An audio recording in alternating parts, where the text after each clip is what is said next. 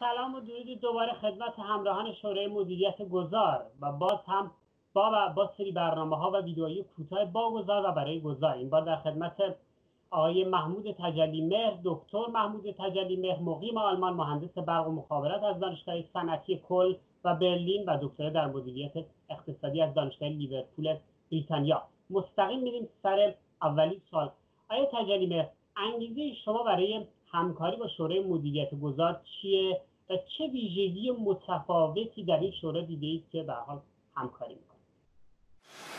خب من همیشه تحت تاثیر انقلاب ایران در سال 1979 از همون مقام که با نوجوانی بیش نبودم. علاقمند به مسائل اجتماعی بودم و کماکان هستم. بعد هم که با زندگی در آلمان در سالهای 80 که جامعه آلمان هم خیلی پرتکاپو بود و جنبش سبز جنبش های مختلف اجتماعی حفظ محیط زیست جنبش زنان جنبش صلح و خیلی مسائل دیگه مطرح بود. برای تحت تاثیر این فضا من بزرگ شدم در واقع. و و تا به امروز هم به حال برای من اینها دغدغه‌های همیشگی من هستن. مسائل اجتماعی مسائل حقوق بشر مسئله دموکراسی به ویژه پیش از همه و در همین راستا هم خب روشنه که ایران و در هر کشوری که بهش تعلق دارم و در اونجا بزرگ شدم هم طبیعتا دغدغه همیشگی من بودن. این انگیزه شخصی من برای شرکت در مسائل اجتماعی است. در این سال هم که به حال ما 40 سال حداقل بعد از انقلاب گروه های مختلف سیاسی رو داریم گروه های اپوزیسیون داریم به هر حال اینها مشکلات زیادی دارن مشکلات پایه‌ای زیادی دارن. یعنی صرف نظر از وضعیت حکومت حالا ناتوانیش یا قدرتش اینها گروه های اپوزیسیون ما بخ برخشون نمی‌خوام همه رو یک کنم نیاز به نوگرایی دارن. به اندیشه نو و دیدن مسائل با یک نگاه جدید. خیلی از اینا که کمی سنتی فکر می‌کنن. و برای من جذابیتی نداشتن. هرچند که ازشون به حال اینجا اونجا اونجا شده حمایت کردم. در این شورای مدیریت گذار من برای نخستین بار چند تا ویژگی دیدم که این در گروه دیگه یا نیست یا خیلی ضعیفه. یکیش این که مجموعه کسانی که جمع شدن اینجا با کیفیت های خاص جمع شدن توانایی های تخصصی خاص در مسائل اجتماعی دارن.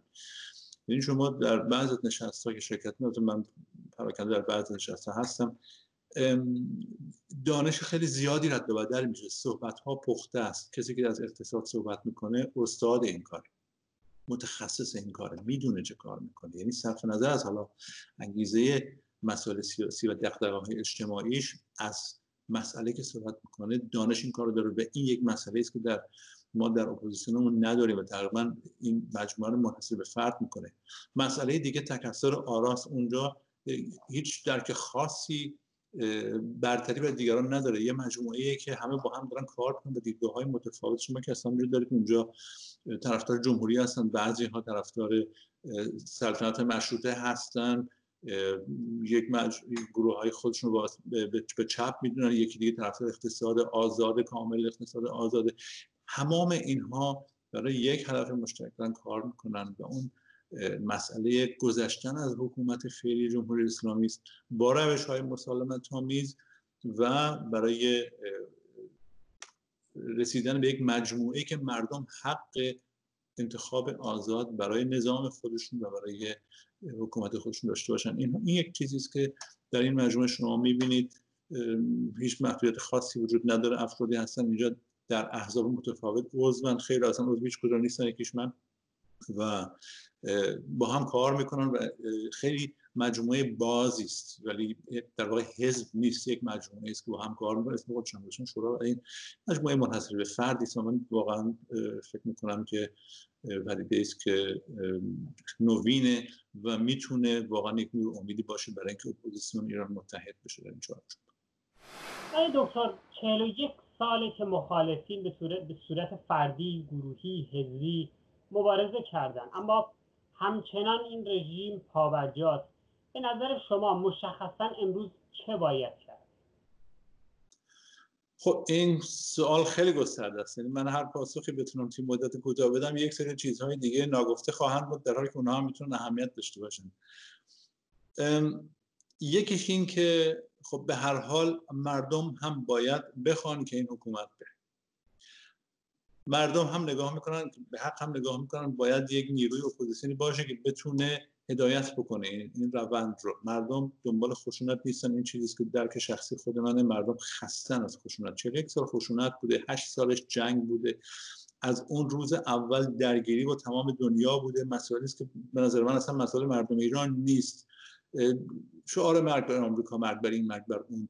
درگیری با کشورهای همسایه دخالت کشورهای همسایه. با همه ما تقریبا یک جورایی دچار مشکل شدیم به خاطر وجود این حکومت. اینها مسائلی هستن که خشونت رو روزمره کردن در داخل کشور مزاحمت های دائمی برای مردم مزاحمت فرهنگی مزاحمت برای زنان. برای هر مسئله ای که واقعا در چارچوب تنگ این حکومت نگنجه. اینها مسئله است که مردم رو هم خسته کردن. یعنی مردم دنبال راهی میگردن که از این وضعیت نجات پیدا بکنن. از سوی دیگر خیلی هم حالا نوستالژی هرچی هست یادشون رفته که قبل از انقلاب هم وضعیت جالب نبود ولی به حال آزادی فرهنگی حداقل بود. و نمی‌خوان که باز از چاله بیفتن به چاه. این هم تفکری است که برها تو مردم پایه داره. خیلی نگران میگن خب با کی؟ از کجا من جا بدتر نشد حکومت هم از این قضیه سوء استفاده می‌کنه. من میگه اگه من برم این میشه اون میشه داعش میاد. این صحبت ها اینجوری که همش در واقع همشون وهم و نادرسته. هیچ چیزی چه خطری وجود نداره. و یه مجموعه از این هاست. از سوی دیگه هم اپوزیسیون باید متحد بشه. یه اپوزیسیون نیرومند در داخل کشور و در خارج از کشور همدیگر رو تکمیل بکنن و بتونن راه نشون بدن به مردم. و این تواناییشون رو مردم بپذیرن. و واقعا ما می‌تونیم. اپوزیسیون ما منظورم فقط شورای گذار نیست. تمام نیروهای اپوزیسیون. اینا وقتی جمع بشن توانایی برای گذشتن از این حکومت به روش مسالمت آمیز و ایجاد یک حکومت دموکراتیک و بر اساس دموکراسی سکولاریسم منشور جهانی حقوق بشر دارن. این توانایی وجود داره. فقط این عزم باید در واقع جزم بشه متحد بشن و این رو مردم ببینن. و من فکر می‌کنم مردم منتظر همچه چیزی هستن. چون در شرایط دیگر می‌تونه مشکلات دیگری وجود سپاس از دکتر تجلی مهر که وقت خودشون رو به ما دادن و همچنین شما دوستانی که این ویدیو رو تا انتها دیدید. از شما همچنان خواهش مندیم که نظرات خودتون رو کامنت کنید و سوالی هم اگه دارید حتما بنویسید برای که در برنامه های آتی پرسیده بشه و شب و روز شما خوش.